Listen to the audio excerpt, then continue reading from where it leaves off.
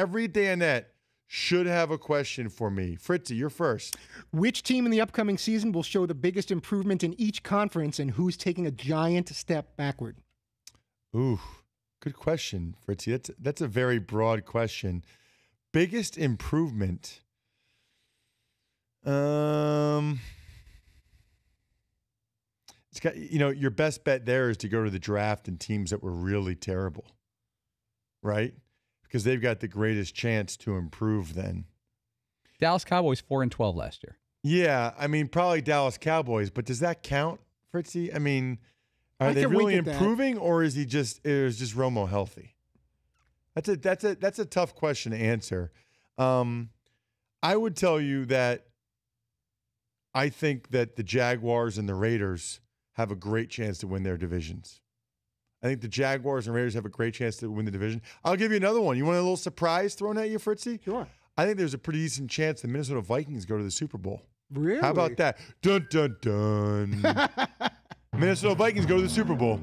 All right, here's my question. Of the four West Coast teams, Oakland Raiders, San Diego Chargers, Los Angeles Rams, and San Francisco 49ers, which ones make the playoffs? Seattle's not a West Coast team. I'm going to, I'm sorry, California teams. yeah, I'm just messing. Good with you. call.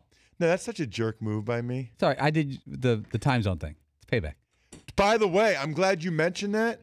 I had several people on Twitter say that if they hear an hour later, they would have thought behind as well.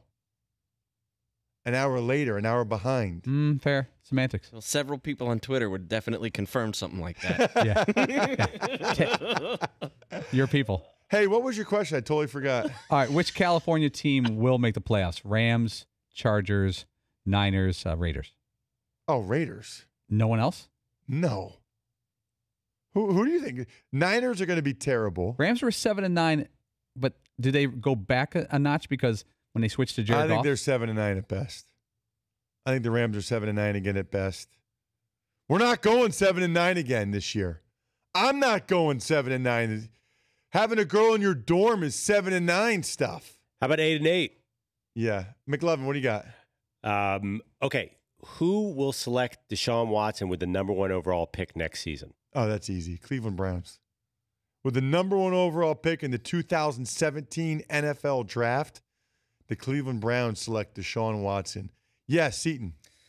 Well, this is coming from a place specifically I want to ask about one player, but I'll try to make it more interesting to everyone else in the world. So I'll say, do you have your eyes on a sort of breakout player this year?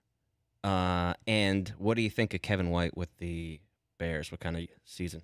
Man, you know, the best thing you can do at this time of year is to kind of look at the reports. And Kevin White's a freak, but I still think that he's he's it's learning to the point where I don't know that he'll be a breakout. Um, that's a good question, though. Some of the rookies you're already hearing good things about. How about Sterling Shepard from the Giants? He's already starting.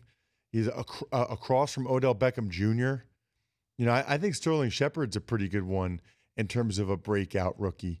I'll tell you, I'll give you another breakout guy, Tyler Lockett with the Seahawks.